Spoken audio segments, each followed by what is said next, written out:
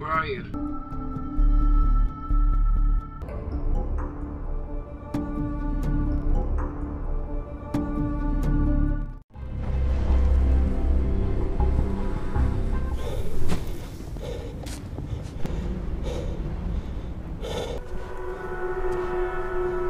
Don't want to hear all about our time here on Mars. Commander Lewis.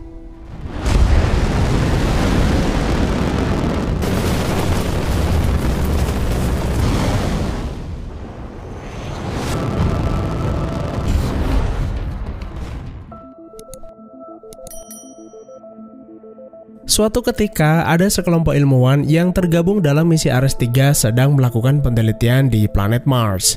Mereka membangun sebuah hub atau base di sebuah kawasan yang disebut dengan Asidalia Planitia. Para ilmuwan tersebut adalah Martinez sebagai pilot, Beck sebagai dokter bedah, Johansson sebagai ahli komputer, Mark sebagai botani, dan Louis sebagai komandan. Saat mereka sedang mengumpulkan sampel, tiba-tiba terjadi badai besar di dekat mereka. Good. Komandan memerintahkan para kru segera meninggalkan base kemudian naik ke pesawat. Let's wait it out. Badai itu sudah sangat dekat. Mark meminta menunggu karena terlalu berbahaya bila berjalan di luar. Tapi komandan bersikeras daripada mereka hancur berkeping-keping. Saat sedang berjalan di tengah badai, sebuah benda melayang menghantam Mark lalu membuatnya terhempas. Martinez melaporkan terjadi kebocoran oksigen pada bajunya dan sinyal milik Mark terputus. Tidak ada yang bisa mereka lakukan karena pakaian itu hanya melindunginya kurang dari semenit. Selain itu, jika mereka tidak segera naik ke pesawat, terjangan badai itu bisa merubuhkan pesawat mereka kapan saja. Dan pada akhirnya, Ares 3 meninggalkan planet Mars tanpa Mark. Setelah insiden tersebut, pihak NASA segera melakukan konferensi pers. Mereka berkata bahwa misi Ares 3 terpaksa pulang lebih cepat dikarenakan badai yang terjadi.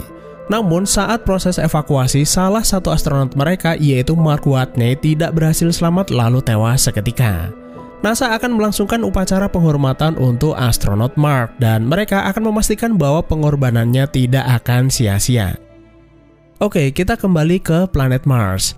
Setelah badai usai, Mark yang mereka sangka telah meninggal ternyata masih hidup. Bunyi peringatan menipisnya kadar oksigen membangunkan Mark dari pingsannya. Sebuah benda besi menusuk perutnya dan secara ajaib benda itu juga memperlambat habisnya oksigen. Mark berjalan menuju hub yang selamat dari terjangan badai lalu mengobati lukanya. Prosedur standar astronot yang sedang menjalankan misi adalah membuat rekaman harian. Mark Watney, astronaut. Hari itu adalah Sol ke-19 misi mereka di planet Mars dan Sol adalah sebutan hari untuk planet Mars.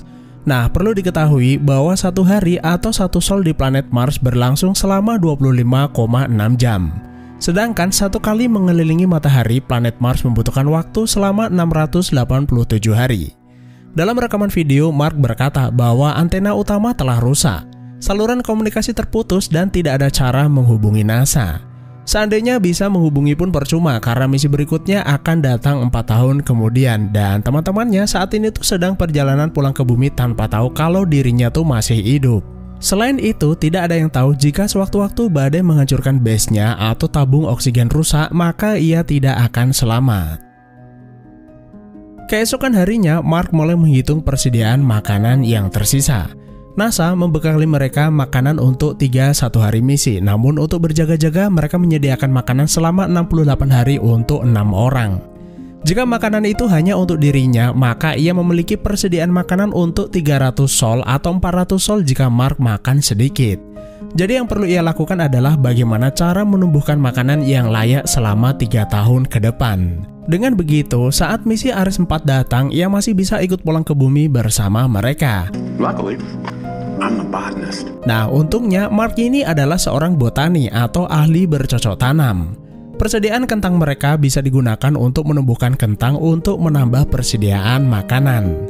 Tanpa berlama-lama, Mark langsung memulai proyek bertahan hidup di planet Mars. Pertama-tama, ia memperbaiki solar cell yang menyediakan tenaga untuk hub, lalu mengambil kotoran manusia yang ada di dalam septic tank. Untungnya, saat buang hajat, kotoran itu langsung divakum sehingga tidak menimbulkan polusi udara berlebih. Mark membangun media bercocok tanam di dalam hub tentunya menggunakan tanah Mars. Setelah itu, ia mulai menanam kentang yang diberi pupuk kotorannya sendiri. Masalah berikutnya adalah air karena tanaman itu tidak akan tumbuh tanpa cukup air. Jadi untuk menghasilkan air, Mark menggunakan zat bernama hidrazin dicampur oksigen kemudian membakarnya. Zat hidrazin tersebut ia dapat dari MDV, yaitu sebuah kendaraan yang mereka gunakan untuk melakukan pendaratan di planet Mars. Namun karena salah melakukan perhitungan alat itu malah meledak. Percobaan kedua berhasil dan air mulai menetes dan membasahi tempat tersebut. Usaha Mark menumbuhkan kentang tidak sia-sia karena di hari ke-54 tanaman kentangnya mulai tumbuh. Sementara itu di bumi, Direktur Misi Planet Mars bernama Vincent Kapoor menemui kepala NASA bernama Teddy. Vincent berkata bahwa mereka harus memikirkan cara untuk menjemput jenazah Mark untuk membuktikan kepada dunia bahwa Mark benar-benar meninggal. Namun Teddy berkata bahwa setelah misi Ares 4, Ares 5 tidak akan berangkat dalam waktu 5 tahun berikutnya. Namun, Vincent mengingatkan bahwa menjaga reputasi NASA tidak kalah penting. Lalu di pusat kontrol, juru bicara NASA yang bernama Mindy menerima sebuah pesan dari Vincent. Melalui satelit yang mengorbit di planet Mars, Vincent memintanya membandingkan gambar yang diambil hari ini dan saat proses evakuasi. Setelah itu, para petinggi NASA pun berkumpul. Mereka melihat ada perbedaan letak rover antara Sol 18 dan Sol 54. Hal tersebut menunjukkan adanya aktivitas di sekitar hub tersebut yang artinya ada kemungkinan Mark Watney masih hidup. Untuk membuktikannya, mereka perlu mengkonfirmasi posisi rover tersebut kepada kru Ares 3. How can you not tell them? No, i- if Watney is really alive, we don't want the Ares 3 crew to know. Namun Teddy malah melarang karena Ares 3 saat ini sedang perjalanan pulang ke bumi. Mereka akan hilang konsentrasi serta merasa bersalah jika mengetahui Mark masih hidup dan telah meninggalkannya sendirian di planet tersebut. Legally, we have 24 hours to release these pictures. Secara hukum, dalam 24 jam ke depan, mereka wajib mengkonfirmasi temuan mereka kepada publik. Namun, jika perkiraannya benar, Mark mungkin sudah meninggal karena kelaparan. Mengingat persediaan air dan makanan cukup terbatas. What the hell is he thinking right now? My God, Commander Lewis could Konferensi pers ke media pun langsung menimbulkan banyak pertanyaan. Hari ke-70, Mark mulai memikirkan perjalanan ke lokasi di mana Ares 4 akan mendarat. Lokasi tersebut berjarak kurang lebih 3.200 km. Masalah pertama adalah rover hanya mampu menempuh jarak 35 km sekali pengisian baterai. Yang kedua, perjalanan itu membutuhkan waktu sekitar 50 hari untuk sampai ke sana. Jadi mau nggak mau, ia harus bertahan selama itu di dalam rover yang ukurannya sangat kecil. Is this journey is going to take me 50 days. Battery has to be recharged at the hab. Keesokan harinya, Mark mulai menjajal rovernya sejauh apa ia bisa berjalan setelah menggandakan kemampuan baterainya. Apa yang dilakukan Mark tersebut tentu saja membuat pusat kontrol semakin yakin bahwa Mark masih hidup. Citra satelit menangkap bahwa rover bergerak menuju lokasi pendaratan Ares 4 kemudian kembali ke hub. Setidaknya NASA mengetahui kalau Mark punya rencana pergi ke sana. Teddy kemudian meminta Bruce, seorang insinyur NASA, mempersiapkan roket untuk menyuplai bahan makanan ke planet Mars menggunakan satelit bernama Probe. Pekerjaan itu kira-kira membutuhkan waktu 6 bulan namun Teddy memintanya selesai dalam waktu 3 bulan saja. Kemudian Mitch Henderson, kepala penerbangan NASA meminta agar mereka memberitahu kru Ares 3 dan mereka sepakat memberitahu mereka setelah misi penyelamatan siap diluncurkan. Setelah 48 hari sejak Mark menanam kentang miliknya, kini adalah waktunya memanen. Kentang yang besar akan ia makan, sedangkan kentang yang kecil akan ia tanam kembali.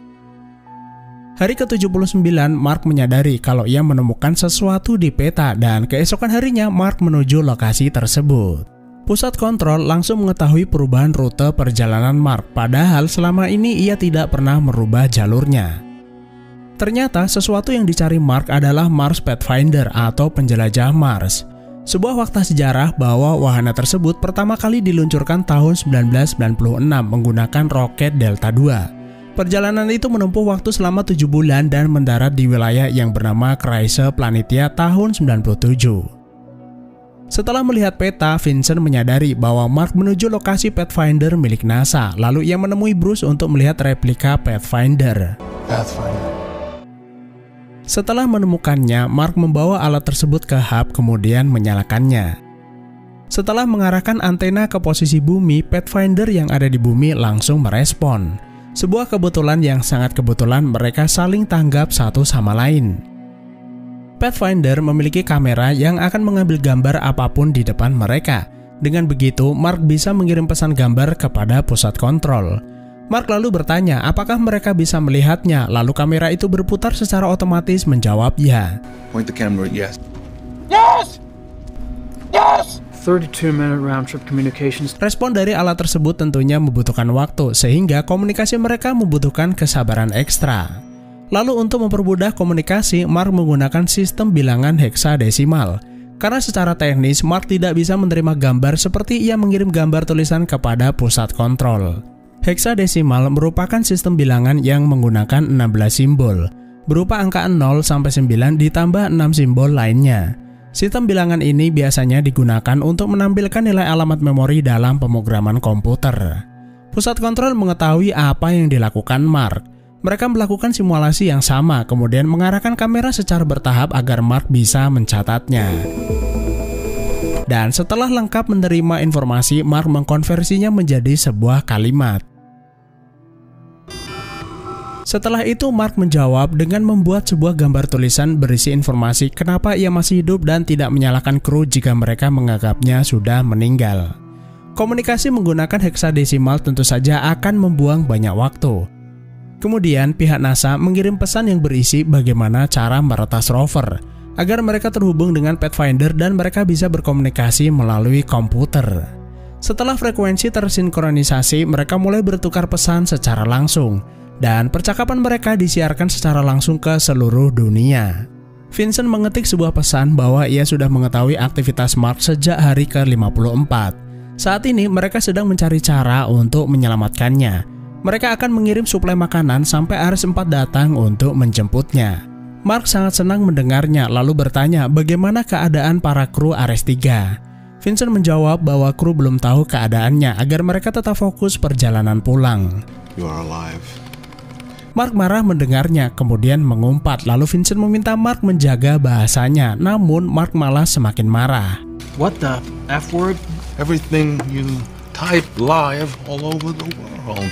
Empat bulan sejak meninggalkan Mars, kru Ares 3 akhirnya diberitahu keadaan Mark yang masih hidup di planet Mars.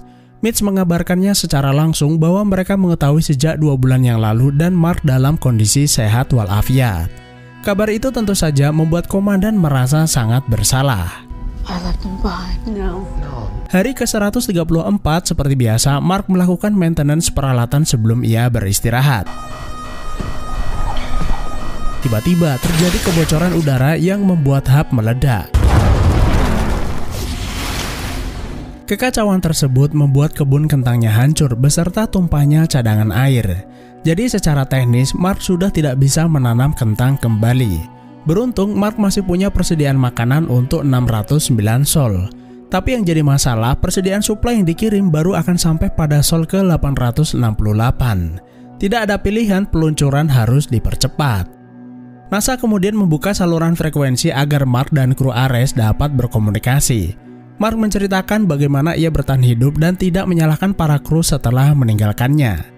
Setelah itu, Mark kembali ke hub, menambal setiap lubang kemudian membuat tekanan udara di dalam kembali normal. Sementara itu, di sebuah laboratorium, seorang ahli astrodinamika bernama Rich diminta untuk memperkirakan perhitungan jarak bumi ke Mars. Lalu ia berkata jarak bumi dan Mars saat ini pada posisi terjauh dan bukan waktu yang terbaik untuk melakukan peluncuran. Sementara itu di Mars, Mark terpaksa harus melakukan pengiritan karena terbatasnya makanan yang ia miliki. Dan akhirnya tibalah waktu peluncuran Iris Probe. Roket tersebut meluncur dengan sempurna, semua orang pun bersorak gembira. Namun saat akan keluar orbit, roket mengalami malfunction lalu meledak. Insiden tersebut langsung dikabarkan kepada Mark. Lalu ia mengirim pesan kepada Komandan Ares 3 agar ia mau menyampaikan kata-kata terakhirnya untuk keluarganya. Tidak masalah ia mati di Mars jika itu memang takdirnya. Meledaknya roket tersebut juga menjadi perhatian CNSA atau Lembaga Antariksa Cina. Wakil ilmuwan bernama Zhu Tao berkata bahwa sebenarnya masih ada cara lain menyelamatkan Mark. Mereka memiliki solar probe bernama Taiyang Sheng yang akan diluncurkan mengorbit di planet Venus. Namun satelit itu bisa digunakan untuk mengirim suplai makanan ke Mars agar Watney bisa bertahan selama 2 tahun ke depan. Dengan pertimbangan kemanusiaan, CNSA akhirnya menghubungi NASA dan mereka akan menyerahkan Taiyang Sheng untuk mereka gunakan. Yes. Thank you. Sementara itu, Rich Purnell melakukan simulasi perhitungan lintasan Hermes menggunakan super komputer NASA. Setelah itu, ia pergi ke kantor pusat NASA untuk melakukan pertemuan rahasia. Menurutnya, kapal angkasa Hermes yang berisi kru Ares 3 bisa kembali ke Mars untuk menjemput Mark. Saat Hermes mencapai orbit bumi, Taiyang Sheng bisa digunakan untuk mengirim suplai makanan tambahan ke Hermes. Kemudian Hermes mengitari orbit bumi lalu memanfaatkan gaya gravitasi bumi untuk mempertahankan kecepatan bahkan berakselerasi lebih cepat menuju Mars. Setelah mencapai orbit Mars, mereka bisa berhenti sebentar, kemudian Mark menggunakan peluncur Ares 4 bertemu di orbit kemudian pulang bersama-sama. Jadi perlu diketahui bahwa sebelum misi Ares 4 diluncurkan, mereka telah mengirim peralatan terlebih dahulu. Termasuk MAV, sebuah wahana yang akan digunakan untuk terbang ke orbit Mars menuju kapal angkasa lalu pulang ke bumi. Jadi, Mark bisa menggunakannya untuk terbang ke orbit Mars untuk mencapai Hermes. Agaknya Teddy kurang setuju dengan ide tersebut. Jika Hermes pergi ke sana, maka akan menambah panjang durasi perjalanan mereka di angkasa. Selain itu, Hermes akan melewati jadwal servis rutin yang beresiko terjadinya kegagalan sistem. Itu bisa membahayakan nyawa mereka semua. Ia lebih memilih lima kru Ares tetap pulang ke bumi lalu mengirimkan probe milik CNSA untuk mengirim suplai makanan ke planet Mars. Vincent berkata bahwa Hermes dibangun untuk menyelesaikan semua misi Ares. Jadi secara teknis Hermes masih akan berfungsi dengan baik. Akan tetapi, seperti kata Teddy sebelumnya, jika terjadi apa-apa di jalan, maka mereka akan kehilangan lima kru Ares termasuk Mark. Mitch kemudian berkata, kenapa tidak membiarkan kru Ares 3 menentukan pilihan? Namun Teddy memutuskan bahwa Hermes tetap akan pulang ke bumi dan mengirim suplai makanan ke Mars menggunakan probe CNSA. Setelah pertemuan tersebut, diam-diam Mitch mengirimkan data simulasi penjemputan Mark kepada kru Ares 3. Mereka mempelajari data tersebut dan merasa bahwa misi penjemputan Mark adalah ide brilian. Namun NASA menolak dengan tegas gagasan tersebut. Para kru mulai berdiskusi apakah mereka akan kembali Mars atau tidak. Resikonya adalah mereka akan lebih lama 533 hari di angkasa sebelum pulang ke bumi. We had 533 days to our mission. Selain itu, pembangkangan terhadap NASA akan menghentikan karir mereka di masa depan. Meski begitu, para kru tetap sepakat kembali ke Mars untuk menjemput Mark. Yes. Let's go get him. Sign me up. Pusat kontrol kemudian melihat bahwa jalur Hermes berubah dari yang seharusnya. Segera para petinggi NASA diberitahu bahwa kru Ares 3 berniat menjemput Mark. Tidak ada yang bisa mencegahnya, yang perlu mereka lakukan adalah mempersiapkan apa yang mereka butuhkan. Teddy bersama pejabat NASA lainnya mendatangi markas CNSA di Cina. Mereka menerima tawaran bantuan mereka, namun sebagai gantinya seorang astronot dari Cina diikutkan dalam misi ke Mars berikutnya. Setelah mengetahui kalau Hermes akan menjemputnya, Mark masih punya sekitar 200 hari lagi untuk mempersiapkan perjalanannya menuju Ares 4. Mark mulai mengatur persediaan makanannya, memodifikasi rover agar mampu menampung lebih banyak oksigen. Selain itu, ia akan membawa semua peralatan penyokong kehidupan termasuk panel surya untuk mengisi baterai rover. Yang terakhir yang perlu Mark lakukan adalah menentukan kapan ia berangkat dengan menghitung jarak tempuh agar bebarengan dengan kedatangan Hermes. Sementara itu NASA dan CNSA mempersiapkan suplai yang dibutuhkan kru Ares 3 untuk menjemput Mark. Setelah itu mereka meluncurkannya. Di hari ke-227, Hermes akhirnya mencapai orbit bumi. Mereka kemudian menjemput suplai yang dikirimkan dari bumi kemudian melanjutkan perjalanan. Hari ke-461 adalah saat di mana Mark memulai perjalanannya. Setiap 4 jam perjalanan, Mark beristirahat di tengah hari, memasang panel surya selama 16 jam untuk mengisi baterai. Sambil menunggu, Mark berjalan-jalan sendirian di planet Mars, lalu tidur di suatu tempat dan tentu saja ia merasa sangat kesepian. Kalau teman-teman ngebayangin apa yang terjadi jika terjadi badai, gimana Mark pipis buang hajat, kita tuh sepemikiran. Tapi tenang saja, karena semua hal yang sulit bahkan tidak mungkin bisa dilakukan di dalam film. Hari ke-538 akhirnya Mark sampai ke lokasi MAV Ares 4, jadi kurang lebih Mark melakukan perjalanan selama 77 hari. Oke, kita kembali ke NASA. Bruce berkata bahwa Mark tidak bisa terbang ke atas begitu saja, karena daya dorong roket peluncur itu mungkin tidak akan mencapai Hermes. Mereka memberitahu Mark agar menyingkirkan benda-benda tidak penting untuk mengurangi bobotnya, termasuk pintu dan penutup atas. Setelah itu, Mark bisa menutupnya dengan terpal yang ia miliki. Orang-orang tidak perlu khawatir karena orbit Mars sangatlah tipis. Selain itu, pengurangan bobot akan membuatnya tetap melayang di angkasa. Sementara itu, para kru mulai mensimulasikan bagaimana mereka akan mencegat Mark dengan tetap menjaga efisiensi bahan bakar. Terbatasnya bahan bakar tidak bisa membuat mereka terlalu dekat dengan Mars. Tidak boleh ada kesalahan atau mereka tidak akan pernah pulang sama sekali. Hari ke-561 adalah waktu di mana Mark harus meluncur karena Hermes sudah mencapai orbit Mars. Setelah berpamitan kepada rover yang telah menyelamatkan hidupnya, Mark naik ke MAV. Misi penyelamatan tersebut juga disiarkan secara langsung ke seluruh dunia.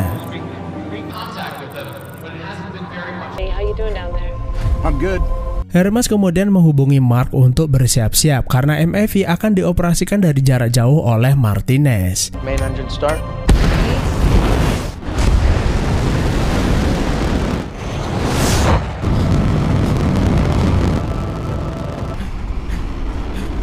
Di tengah jalan, terpalnya tuh malah lepas dan hal itu membuat Mark mengalami tekanan gravitasi berlipat-lipat yang membuatnya pingsan.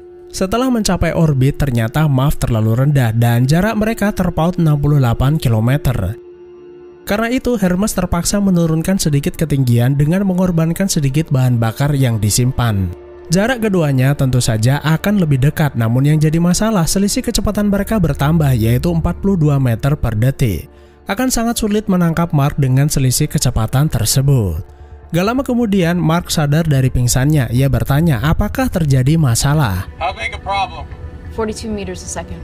Lalu Mark berkata kalau ia bisa melubangi baju angkasanya menggunakan hembusan udara sebagai pendorong. Komandan tentu saja melarangnya karena hal itu bisa membahayakan nyawanya. Maybe it's not the worst idea. Louis kemudian memutus saluran komunikasi dengan pusat kontrol, lalu ia punya sebuah ide gila. Bagaimana jika mereka meledakkan ujung kapal angkasa untuk mengurangi laju agar kecepatan mereka selaras dengan Mark? Hanya ledakan kecil di bagian ujung dan tidak akan berpengaruh banyak. I need you to come inside and make a bomb. Yeah. Baginya tentu saja hal itu sangat mudah karena mereka memiliki semua bahan yang dibutuhkan. Setelah itu, Beth memberikan bom itu kepada Beck untuk diledakkan.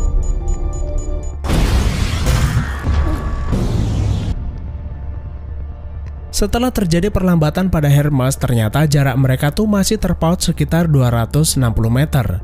Komandan Louis memutuskan keluar untuk menjemputnya. Namun sayangnya talinya tuh masih kurang panjang. Mark nggak ambil pusing, ia nekat melubangi bajunya untuk menghampiri Louis. Awalnya Mark kesulitan, namun pada akhirnya mereka berdua berhasil meraih satu sama lain. Setelah itu, komandan membawanya masuk ke dalam lalu mengabarkan kepada pusat kontrol bahwa mereka telah berhasil menyelamatkan Mark. Sepanjang perjalanan, Mark tuh gak habis pikir kenapa mereka rela menghabiskan jutaan dolar bahkan rekan-rekannya meresikokan nyawa demi menyelamatkannya. Namun ia sangat bersyukur bahwa pada dasarnya manusia itu diciptakan untuk peduli satu sama lain. Setahun kemudian, keenam kru Ares akhirnya sampai ke bumi.